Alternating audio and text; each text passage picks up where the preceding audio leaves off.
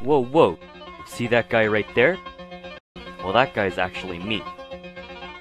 Believe it or not. Now, I bet you're wondering how I got in this wacky situation. It all started in the summer of 86.